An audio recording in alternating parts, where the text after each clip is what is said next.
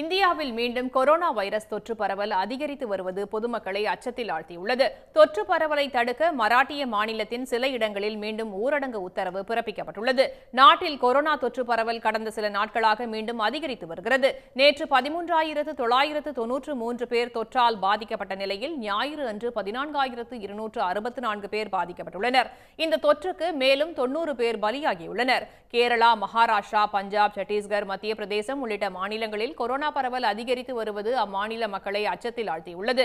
கேரளாவில் தினமும் ஐந்தாயிரத்திற்கும் மேல் பாதிப்பு ஏற்பட்டு வருகிறது. மகாராஷ்டிராவில் மூன்று மாதங்களுக்கு பிறகு ஆறாயிரத்திற்கும் மேல் பாதிப்புகள் பதிவாகி மீண்டும் வேகம் எடுத்துள்ளது. மராட்டியத்தில் நடைபெற்ற கொரோனா பரிசோதனையில் உருமாறிய கொரோனா பரவி இருப்பது கண்டுபிடிக்கப்பட்டுள்ளது.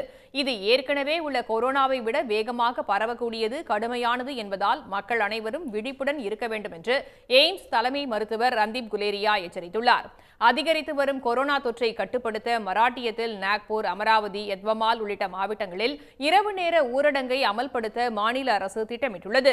புனே மாவட்டத்தில் இரவு பதினோரு மணி முதல் காலை ஆறு மணி வரை ஊரடங்கு பிறப்பிக்கப்பட்டுள்ளது. கல்வி நிறுவனங்கள் அனைத்தும் இருபத்தி எட்டாம் தேதி வரை மூடப்படும் என்றும் அறிவிக்கப்பட்டுள்ளது. புதிய வழிகாட்டு நெறிமுறைகளும் வெளியிடப்பட்டுள்ளன. செய்திகளை தொடர்ந்து பார்க்கலாம். சிறிய இடைவெளிக்கு பிறகு. கிரவுன் ரெசிடென்சஸ்ல அபார்ட்மெண்ட் புக் பண்ணியே. அத பத்தி கொஞ்சம் சொல்ல